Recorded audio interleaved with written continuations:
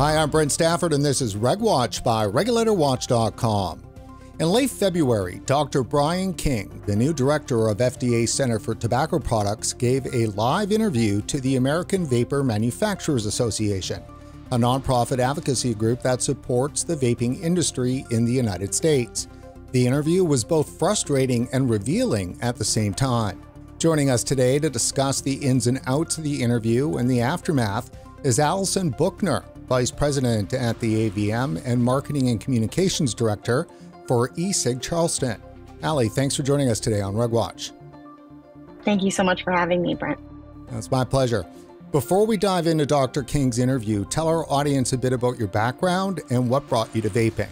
Um, well, so I moved to South Carolina from New York. Um, I lived in New York my entire life. Um, I was 31 years old. When I was um, 30 years old, I had a blood clot in my leg um, from smoking. So I had to try everything to quit. Um, it was an awful situation. I was on blood thinners for about six months, giving myself a shot twice a day in my stomach. Um, tried Chantix, tried patches, tried gum. I, tr- I tried everything that was available, and and nothing really worked. Um, and it was kind of you know a hard time that I was going through in life making that move, um, which was unexpected for me, um, a lot of life changes. So when I moved to South Carolina, you know, cigarettes are cheaper. So yeah, let's smoke more of those because that's a really great decision to make. Um, but, you know, going through a stressful situation in life and i think that when you do try you know to quit smoking and you and you are frustrated because you're not having any success with the you know appropriate aids that are supposed to help you get off cigarettes kind of forget about everything you went through when you were going through that crisis with your health and you focus on what's in front of you and your day-to-day life and and you go right back to smoking cigarettes when when that replacement therapy isn't working. Um, so when i moved to south carolina um, i moved here with my son. At the time he was six so you know stressful move just me and him. I didn't know a single person in south carolina and i was looking for a job and I found a job at a tanning salon, which I'm like, I had worked for Verizon Wireless for years. I was a marketing specialist for them. So I'm like, this is easy, fun job, and it'll just get me some income until I can find a job that's got more longevity, you know, and I can use my skill set for. Um, so I just figured it'd be something fun, kind of light, you know. So that's what I was doing. Um, and the owners um, actually owned a hair salon that was connected to the tanning salon, and they were vaping and they had this little tiny box of vapes and they would offer these vapes little starter kits little 650 battery tank and a, a liquid and a menthol or a, or a regular tobacco flavor and an 18 milligram because they were trying to get all their customers that smoked off of smoking and, and to start vaping because they were both two plus a day pack smokers and this worked for them. So they were like we're going to do this. So long story short 11 years later i still work for the same company. Um, they transitioned that first uh, hair salon slash tanning salon into a vape shop. And now there's 16 other locations and i and i work in marketing and communications for them now. Um, so you know and i actually you know got you know she's like do you smoke? And i'm like yeah. And she's like do you want to try this? I said sure. She gave me like a pina colada and an 18 and you know little my start set up. And and that was it. I never touched another cigarette. And I was shocked. I think that I honestly think the reason that so many people and advocates are so passionate is because it's shocking how easy it is when you've tried other methods to quit. So, I mean, I, I've been a lifelong, you know, now like supporter of this, you know, ever since I found it and you know wanting to share this information you know as much as i can. And for the first few years i worked for the company i, I managed one of their busiest locations um, which happened to be a newer location that they had opened up closer to where i live. And every single person that walked in the door for those four years that i ran that store they were quitting smoking. This is really before it got like you know to be popular or it was the cloud chasing or whatever. These were just smokers that wanted to quit. They heard good things about vaping and they wanted to check it out. So that changed my life a lot too, because I've literally had customers come around the counter and hug me and say, Hey, I just went to my doctor and, you know, my test results for all of these things are so much better. And I can't believe you finally got me to quit smoking. I mean, the first car I bought down here, the guy didn't even take a commission on the sale because he's like, this this woman saved my life, stopped me from smoking two and a half packs a day of, of you know Marlboro menthols, and so it was a great thing when I first got involved in it. So to now be at this point where I've been with the company for 11 years, to see the attitude towards vaping change and to see people that I've helped quit go back to smoking because of all the stuff that's you know being put out into the into the into the universe here from you know public health it's it's really upsetting and frustrating and so it's kind of pushed me into this advocate you know advocation you know of where i'm like now this is like my passion and and you know and it's kind of taken over my entire life because i'm so passionate about it because i've seen what it can do and what it could do if it was just allowed to do it you know properly so, what exactly is AVM and what do they do? So, American Vapor Manufacturers, um, it's a nonprofit organization. Um, you know, they have, you know, strategies put together to try to help, you know, Americans have the access to the vapor products and also at the same time, you know, kind of protect the manufacturers that make these products. We try to stay on top of these burdensome, you know, federal regulations and try to open up lines of communication and kind of have our voices heard.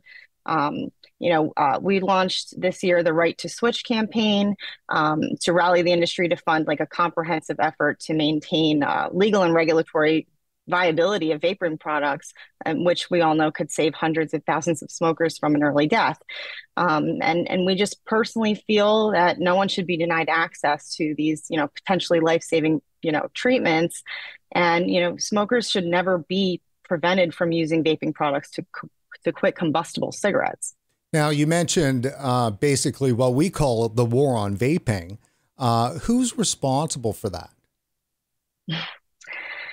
Ah, well, I mean, I guess I think it's a combination of things. I think it's a, you know, combination of, you know, public health for sure, public enemy number one, I think, against vaping, which is which is just kind of mind blowing. I, I, think it, if you look at it, it's become like a a political issue when I think it's a it's a public health issue, and it, that's what it should be based on. Um, you know, I mean, FDA at the end of the day has full authority to regulate this how they see fit. Um, and unfortunately, I think without even saying it, they've they've you know created a, a flavor ban, um, but they're just not kind of going through the process that they're supposed to do if they create a new rule like no flavors. Um, but we see that they're not approving any flavors. Um, you also have, you know, campaign for tobacco free kids. You have the Truth Initiative, where it's constantly, you know, kind of shoved down your throat of all these horrible things, which I brought up in the King interview of you know parasites crawling through your skin and metal dragons coming out of your lungs um, obviously i personally think if i was a smoker and i saw something like that on tv i would definitely not want to try it. So i think that at the end of the day i think you know these things are obviously funded by the fda the information comes from public health. So i think that that is the main issue is that public health is just not being honest about uh, tobacco harm reduction. So we should probably contextualize a little bit uh, for the audience about who Dr. King is. What is the CTP? They're underneath the FDA. I'll try to do a little bit. You add, of course, the U.S. Food and Drug Administration was given uh, control over the regulation of tobacco products back in 2009. And from that, they used a technique within the regulatory uh, structure to deem vaping products to be a tobacco product, thus they're being treated like a cigarette. And it created the Center for Tobacco Products. So Dr. King is the head dude on top of that. Yes. Um, I mean, obviously, it's been kind of a revolving door for the CTP. You know, you have the prior CTP director, Matthew Holman, who left to go to Philip Morris. Um, you know, um, and, you know, it's kind of crazy to think that maybe he potentially thought that he could do more for public health at a tobacco company than he could at the at the FDA. Um, you know, and then you come in, you know, uh, Brian King, who originally was with CDC. Um, he's a scientist, as he'll tell you a few times over and over again. He'll remind you that he's a scientist. Um, you know, and they are you know but it, at the end of the day you know deeming something appropriate for public health that they can base that decision on on anything and I, I don't feel that they're basing the decisions that they're making on on science and data i think they're basing it on this you know campaign to protect the children um, from vaping but at the same time you know cigarette smoking for for youth is at an all-time low um, and and it's not really ticking back up for smoking. So i, I think the gateway um, you know that they keep alluding to is is obviously pretty false because we would see an uptick in smoking um, if that was the case but we don't. We see you know teens vaping. And you know personally i don't want any teen to vape but if it came down to a choice between a combustible product and an e-cigarette if they were already using a combustible product i would say that that vaping is a much safer avenue to take but that being said, again, these products are not created for youth. These products were created for adult smokers. And if youth is breaking the law, then then that should be something that's addressed separately without taking these options off the table for adults that desperately need them. So uh, we're going to play uh, the first soundbite in a second. Here was set up for us. Um, Greg Conley, uh, your colleague there at AVM, it's you both did the questioning uh, on this interview. How did this interview get set up? Well, it started um, before I came on at AVM. Um, I know that they were kind of trying to get the FDA to to put a date on on the calendar, to choose a date, and to lock it in so we could have an interview with them. Um, you know, a much easier task for groups like PAVE and Com- Campaign for Tobacco Free Kids, who were actually sought out by you know CTP to have these interviews. We kind of had to keep asking. I think it was about six to eight months that they were kind of um, trying to get this on the books. Um, and so it kind of happened, and I was told about it like right after I came on board that this would be happening. So it was, um, you know, a lot of practice, a lot of, you know, watching interviews with them, which I'm sure they did the same with us, you know, to see what kind of questioning they that they ask and what kind of questions hadn't been covered yet um, you know, and how they were going to respond. So then we could kind of respond in turn to that. Um, but it wasn't anything groundbreaking. A few great things that we did get out of the interview, but I think as everybody knew, it was going to kind of be that copy and paste answering that we always get from the FDA. Well, let's take a listen uh, to the first portion of the interview. CTP has been describing teen vaping as an epidemic since 2018, um, a word that was chosen using focus groups to heighten the emotional reaction. Um, but since then, teen vaping has plummeted, and today, fewer than 3% of teens vape daily.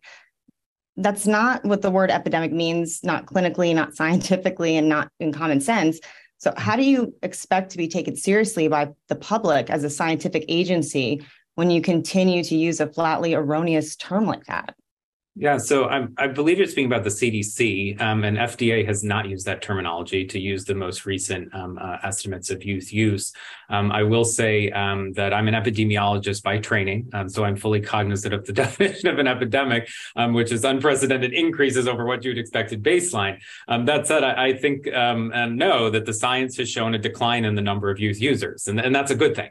over the past couple years, we have seen declines since the peak in 2019. It's still too high. We've got two and a half million um, kids that are still using these products. And based on what we're seeing with other products among kids, including cigarettes um, and, and smokeless and, and, and others, we we can achieve those low levels as well, you know, below 2%, you know, 1 per 2%. Um, I do disagree with the notion that we should only be um, concerned with daily use among kids. Um, we do have research that demonstrate even infrequent use um, elicit signs and symptoms of dependency. Um, and so from um, uh, my perspective, any youth use of these products is problematic and that, you know, that's how you become a frequent user is, is there's a pathway from intermediary to frequent use. Um, but, you know, regardless, the good news is that it's coming down down. I hope that that continues. We certainly have the pandemic effect, which has affected everything, right? We, we see it on a variety of health indicators. So it's interesting to see next year, once you know kids are now back in school um, more frequently, um, and there's potential social sources, whether uh, we see a change in that use. But I, I hope it continues to decline. Um, and as, as I've noted, um, you know, previously, I, I, see where we can go based on the use of other products, and I'm hopeful that we can continue um, these types of, of interventions to continue to reduce use use. But it's not mutually exclusive from actions to help um, uh, continue um, to address the issue of, of um, harm reduction among adult smokers and, and getting them to quit completely. So and you so agree? on your watch, sorry, Allison. So on your watch, uh, the FDA has decided to no longer use the term epidemic. Um, since I've started, I, I, I haven't uttered it. I'm not aware of any of my staff, um, but um, as as far as I'm aware, um, you know, we, we have not used the term. Um, you know, it's ultimately up to respective individuals. Um, there's certainly um, disagreements among epidemiologists, like there is any discipline. You're going to find people disagree. Um, but in terms of, of the big picture issue, I don't want us to see the forest beyond the trees. And the bottom line is that there's still too many kids using these products. And so, whatever you call it, we've got two and a half million kids using the products, and we can do better um, in terms of reducing them. and so, I don't want us to get caught up in semantics so much as the big picture. And, and for me, um, we've got more work to do. We've made good progress, um, but we've got to continue to the pedal to the metal while still keeping an open mind around strategies continue uh, to, to benefit adult smokers to get them to quit completely. So, Allie, uh, what did you make of Dr. King's comments there? And let's start at kind of at the end. Do you believe that they actually have concern for adult smokers? No, no, I don't. Um, I, I mean, I would genuinely love to, you know, to believe that they do, but I think everything that they're doing is showing the complete and total opposite of that. I mean, I, I, they're not really taking us into consideration. They're not asking us the questions. I mean, the fact that we had to fight to even have a conversation with them, you know, kind of shows that. And, you know, I, I just don't really see the concern because at the end of the day, if the concern was truly there, you wouldn't be removing these products from the market for adults.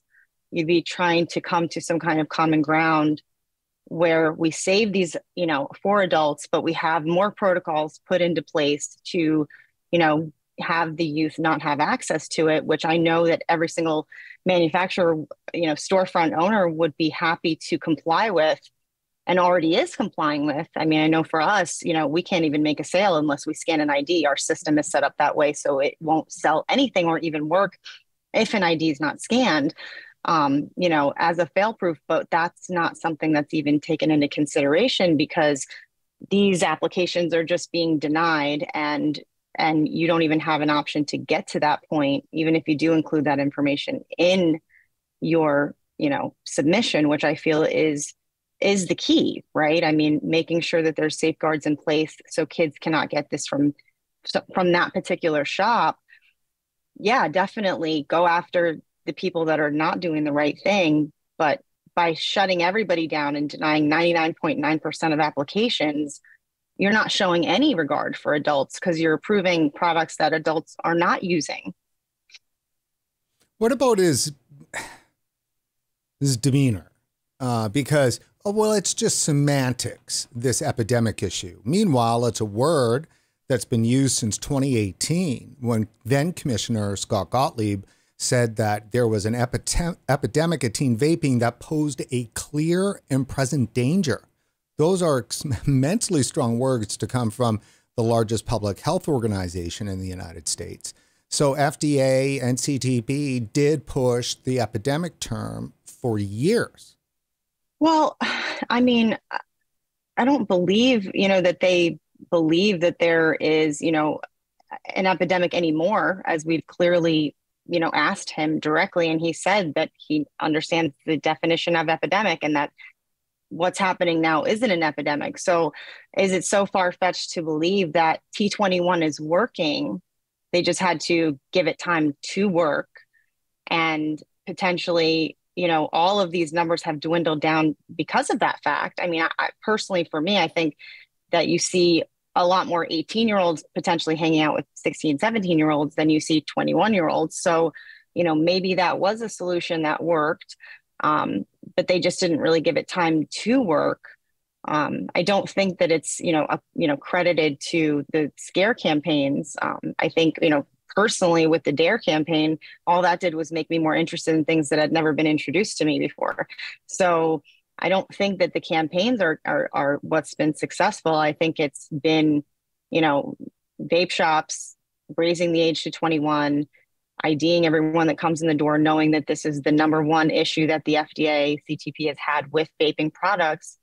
So we're trying to do the right thing to prove that we're not part of the problem but I don't think that that really matters. And and if it truly was about health and it truly was about adults, then then I think that they would take a look at that data and and come to a different conclusion. Yeah, I agree.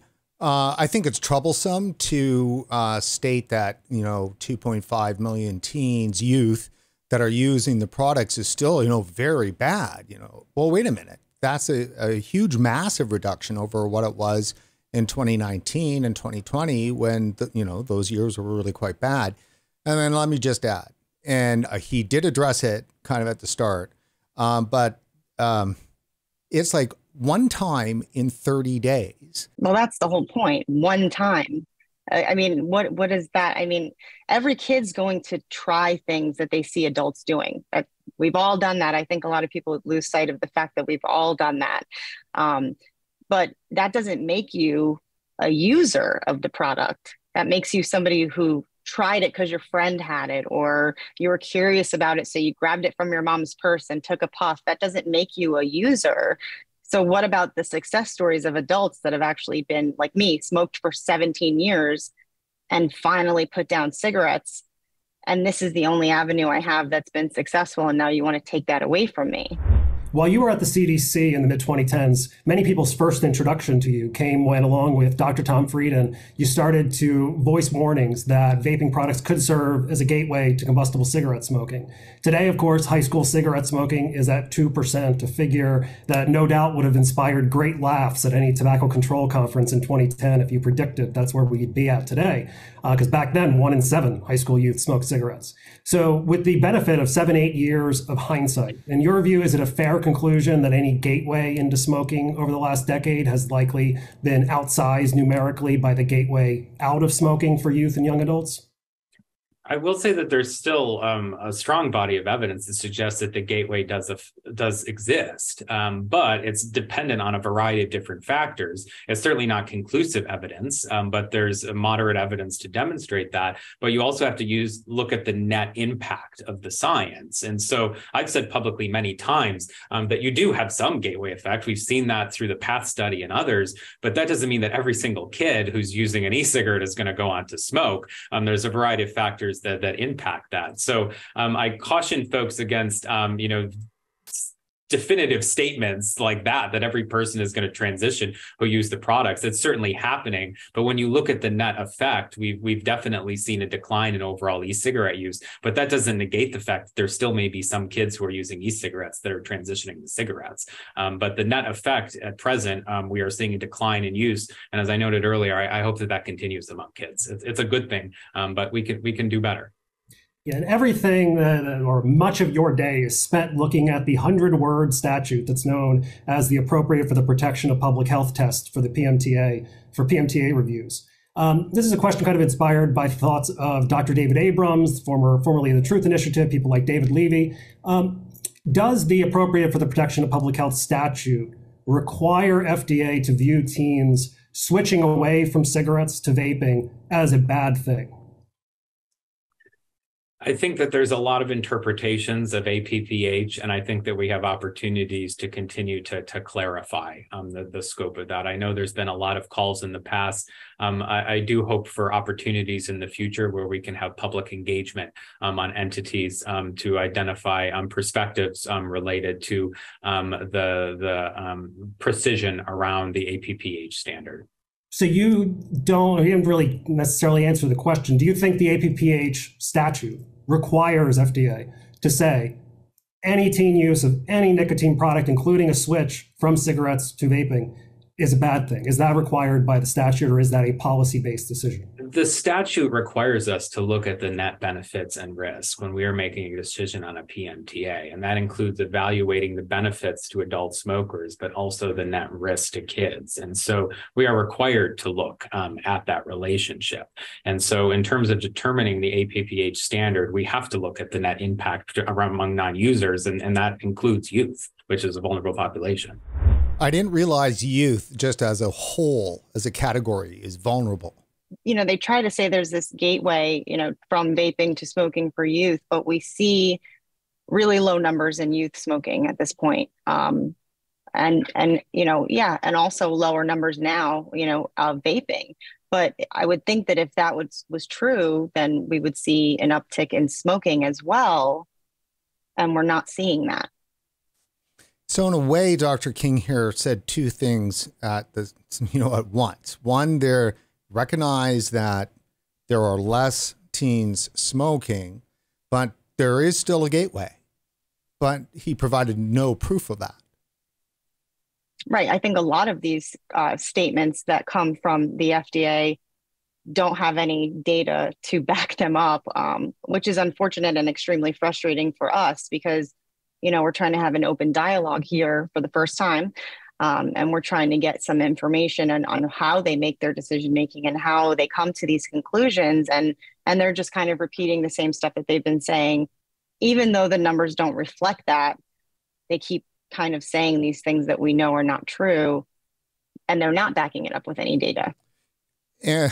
The other thing I find very shocking about this, but it's very typical of a regulator, is that when they want to, they'll always refer back to Congress, to the legislature, and say, well, we're just following what they told us, and they're the ones that set out the parameters, and us as good regulators just have to follow that. But no, that's not correct. The regulator certainly, even when it comes to what's appropriate for the protection of public health, it's the regulator that decides that. The regulator can weight things however they want. They go back to the legislature and say, this stuff meets our standard. The whole point of the regulator doing this work and not the legislature is that is that they do that. Right. And they're supposed to regulate it based on science and data, not based on getting political pressure from you know the Dick Durbins and you know and, and of the world and the Bloombergs, it's it's very frustrating for us because you know we can provide the data we can provide you know the stats we can show how many people come into our stores and what they buy and what they prefer what actually works for them which which should be along with the you know testing and everything else that we have to do on our liquids that should be enough to prove that these are needed. And and not only that but if if smoking is public enemy number one and and public health wants to get rid of smoking then there should be more approvals. There should be more clear standards um, and and clear guidelines of how you actually successfully complete a pmta so we can help our adult customers. Because i think there's a, a, a misconception that you know the vape industry doesn't want to be regulated and that's not true.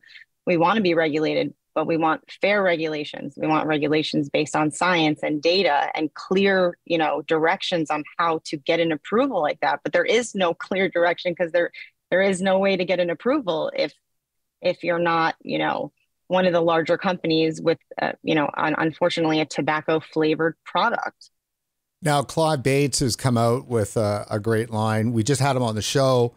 Um, and let me uh, try to get this word for word if you are a new, think of a microbrew beer, you know, so some local microbrewery comes out with a new beer. There isn't some regulator that ha- they have to prove to the regulator that this new beer is appropriate for the protection of public health. It's just a new beer.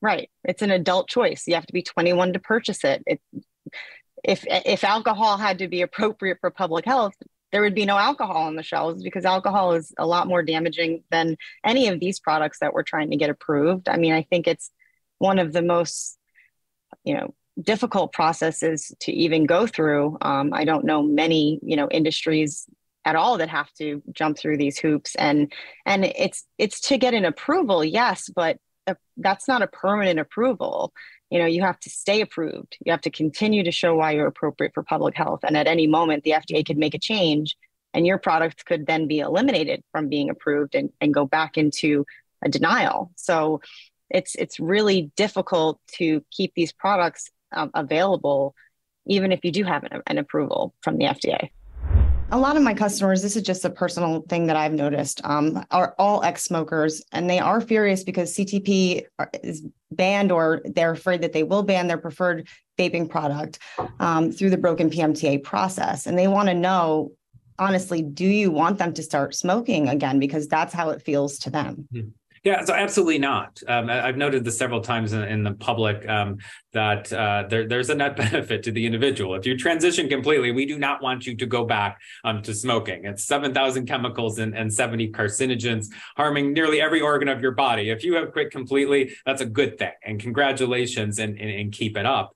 Um, so we definitely don't want people to go back, but it's important to understand the complexities of the environment that we're working in when it comes to our regulatory authorities. And so Congress has mandated me to do certain things in terms of reviewing applications, enforcement and compliance activities. And so this is not an individual basis vendetta against folks. It's ensuring that we enforce the law. And so from our standpoint, I'm committed to ensuring we ramp up efforts to make sure that we're reviewing those applications in a way that we can authorize those products to meet the bar. But on balance, that doesn't mean that we can be remiss on the enforcement and compliance. And so fully acknowledge people are quitting with e-cigarettes. That's a good thing. Um, but with the parameters that we have, we have specific requirements um, and we can certainly make improvements. Improvements, and I'm committed to making sure we have those efficiencies um, uh, moving forward and, and, the best flexibilities um, to ensure that people are able to get authorized products um, into their, their hands um, to uh, continue use uh, for the purposes of either quitting completely or, or significantly reducing the amount they're smoking.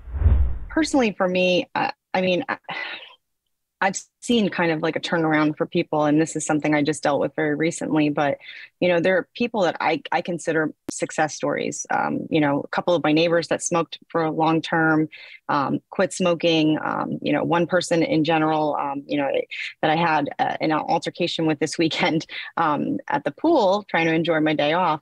Um, has gone back to smoking and you know brought it up to me oh i was on that e-cig for five years and you know i'm smoking again and um, um, you know, she's dating someone that's a, as a smoker, and he kind of came at me and was like, "Well, these are just as bad as smoking cigarettes," and I'm like, "But they're not." And you know, I'm trying to explain to him because you can tell that she really wants to not be smoking, um, but he's kind of maybe beat it into her head that this is just as bad as smoking and, and it's kind of a, a, a crutch for somebody who is a smoker that doesn't want to quit because they look at this misinformation and this stuff that they see on TV that's technically, you know, only supposed to be seen by kids, but it's not because it's affecting adults. And it's all day long, you know, as the communications director for the company I work for, these are the emails I get on Facebook. These are the messages I get on help desk. I'm seeing this, I'm seeing that. So instead of just being able to help someone quit smoking nowadays, you have to have data, science, reports printed in stores because these customers come in with a laundry list of concerns. And, and, typically, the reason that they even came in the door at this point is because they have a friend that vaping worked for and they heard their personal stories and it kind of, okay, fine, I'll go check it out. But they have this list, and I'm physically sometimes will come in with a list of questions of things that they hear, you know, metal parts in my lungs and, you know, popcorn lung, which is still, you know, around, you know, that they're still talking about, and, you know, concerns that, you know, I'm not going to, you know, be any healthier if I make this switch. And so as a, as a former smoker, any excuse I could get to, to keep smoking, I was going to use that because everyone's trying to get you to quit, right? Everyone's like, that's so bad for you. You should stop smoking. So if you have a reason to say, I shouldn't even try that because it's just as bad, that's something that some people are going to hold on to. And that makes me really sad because uh, you know i saw somebody that i helped quit smoking. They were vaping for five years. And the biggest issue that they had was that they weren't able to bring their nicotine level down. But now they're back to smoking a pack and a half a day. So now they're going above that nicotine level and also getting all the carcinogens and tar and, and nasty chemicals you get with combustible cigarettes. And it's it's very upsetting for someone like me because I, you know, I looked at that like I, I, got you off of smoking five years and now you're back. And this is all thanks to the information coming out of public health. There is no other explanation for the fear that has now forced you back to smoking cigarettes. Allie, one of the things that we tend to hear all the time, and there certainly was a lot of that in this interview, it's it's a double-edged sword kind of thing when it comes to the regulator. They say that they don't have the science yet to show that these products are effective and I use the word safe. Um, but then they also say that they don't have the science that proves that they are causing the kind of harms that are alluded to. Basically, the people that do the science that are in charge of the regulating seem to not have the science. Is that the case? Well, no. I mean, as AVM released, you know, the information, you know, in March, you know, that we've got from a report from March of 2020, um, you know, in a FOIA request, you know, these reports found that the science was already internally there at the FDA, where 75% of adults use flavors to stay off combustible cigarettes. Smokers prefer vaping over NRTs as cessation aids. And there was and still is no evidence linking vaping to cancer or any respiratory diseases, including EVALI. So, in short, the report offers concrete evidence that the FDA's vaping, vaping regulations are not based on sound science or a desire to improve the health of adult smokers who rely on these products to stay off of cigarettes. Um, and I know for myself, and, and I'm sure vapers everywhere are furious that the FDA has internally acknowledged the benefits of these flavored vaping products while deeming all of them not appropriate for public health. They, ha- they have that data, they know the truth, yet they still refuse to do anything about it. So tell us a bit more about these documents uh, that were. So what, who did the FOIA request? Was it uh, a lawsuit? And is this really a smoking gun? I mean, the requests were done by Greg Connolly, um, and then you know, kind of sorted through by AVM's team. Um, and I think you know the main, you know, t- the main key points that were made were that you know 75% of adults use flavors other than tobacco to stay off combustible cigarettes. I mean, that's a huge thing because when you see the FDA only approving tobacco products that are tobacco flavored, um, you, knowing that 75% of the people that are using these, legally using these products, prefer other flavors than tobacco, you wonder if they even want to get people to stop smoking at that point because they know the data is there, they have it in house, they've done the work. So why the denial? It just it doesn't make any sense. And let me ask you, Ali, uh, something that I, I don't think we talk about enough that it's not just the fact that vapers prefer flavors and they work better, you know, to get somebody to actually quit and stay quit. But the flavors are also instrumental in having a very strong and vibrant retail business. Oh, absolutely. Yeah. None of us could survive if the only thing that was left on the shelf was tobacco flavors. That's right. And I mean, why aren't we talking about that enough? Well, I think we're trying to prove that, you know, I mean, I know that for us, when we filed our PMTA, we pulled, um, you know, from when T21 went into effect until now, all of our adult, you know, purchasers that are coming in. And I think it was 2.9% of all 16 locations, which is a, a lot of consumers, are buying tobacco flavors. Now, there are some people that genuinely enjoy tobacco flavors, but for, for me personally, you know, when you quit smoking, taste buds come back stronger, your sense of smell is increased. And anything that really tasted like a cigarette to me was almost a trigger to make me want to go light a cigarette. So when I finally moved over to flavors, and I think it took about two weeks for me, which is, I think, the average for most people that come into our stores, is what we saw. That's what they do. And so that's also what keeps them successful because if I'm tired of vaping on a strawberry flavor, I can come in and there's an entire menu of other flavors I can try. So not only does it keep it fun, keeps it interesting, stops people from getting bored with what they're doing, and if they find something that they like even better, that's more incentive to keep them vaping and not going back to smoking. Yeah, I found personally when I quit uh, with using vape, it was that there was a kind of a taste culture. I felt like a wine connoisseur just about vape juice. Absolutely. And a new flavor comes out, and you're like, oh, I can't wait to get there and try it. And unfortunately, there is no new flavors anymore because because we're not allowed to be innovative anymore and and that's the part of you know the industry that i really miss is the new flavors coming out and you know getting to try them and and seeing the adult consumers get excited because we're announcing a new flavor that we're making um, you know and and they truly get excited about it you know oh well at night i vape my dessert flavor because at nights when i crave sweets but during the day i use a minty flavor you know or whatever however it's working for you the more the options that we take away, the less success that there will be, especially, I think, long term success. Ali, two weeks ago, the Fifth Circuit Court took FDA to task over PMTA and non tobacco flavors. Is this a win? Is it real? I mean, it's certainly real. I, I hate to say anything's a win because I think I've learned my lesson about getting too excited about anything that happens. Um, but yeah, the U.S. Court of Appeals for the Fifth Circuit, you know, recently issued an opinion in this case, and it really did criticize the FDA for allegedly abusing its regulatory authority and employing a flawed decision making process. I mean, specifically, the court found that the FDA had failed to adequately consider the potential benefits of the Vuse menthol e cigarette as harm reduction um, for adult smokers and instead focused solely which we see all the time on the potential risks to youth.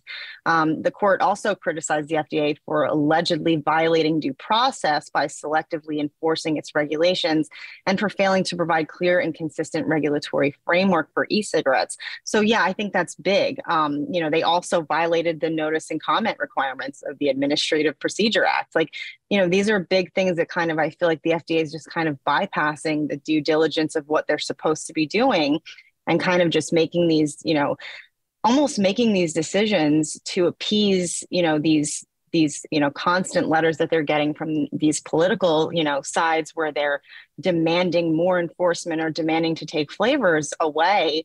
But you know the FDA is supposed to go by the science and stand by the science whether it upsets you know Dick Durbin or not. Like this is what they're there for. This is a scientific process um, and in addition, which I think was a huge win for vapers, you know, they they quoted Alex Norcia at Filter Magazine, who you know was a big champion for us for you know many years.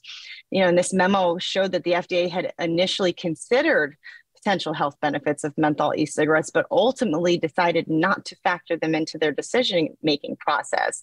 So how how did you come to that decision where is the science to back up that decision making? And so yeah of course anytime the fda gets you know called on their stuff from people that's you know not us you know from our mom's basements tweeting him um, you know i think that it's a win because that is getting attention. Those decisions that they're making and the kind of corner cutting that they're doing is getting attention. And, and i think that it's good for us because it's finally shedding some light on things that we've been seeing and we've been really frustrated by for a long time now. So, what's the end result then from that ruling?